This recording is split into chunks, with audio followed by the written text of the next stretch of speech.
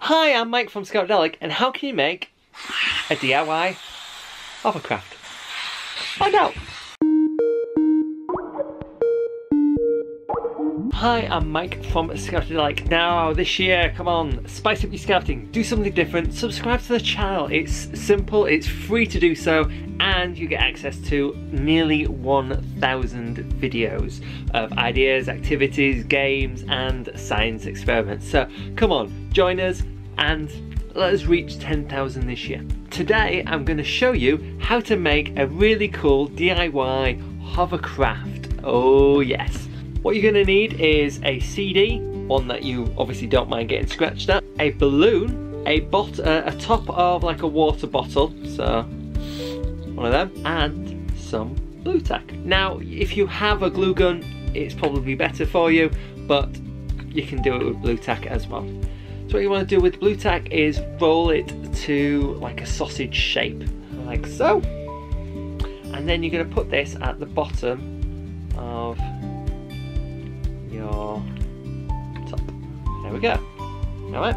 Then you're going to stick that into the middle. So obviously where the hole is for the CD, you want that in around about there. Like so. What you want to do is make sure that there are no air holes. So you don't want any air getting uh, out any other way. You just want it to go out that bottom there. And then once that's fixed on, then you want to blow up your balloon. Now when you're blowing it up, obviously twist, twist it a few times so that the air's not going to escape and you can then do something with this end, okay? Okay, then just twist, twist the end so that you can actually do something with this and air's not going to escape. What you're going to do is you're going to put this on the white bit of your top there going to push it all the way down to the bottom. Okay, so there we are. So you've got your balloon attached to the CD and everything else. And then what you want to do is let go of the balloon.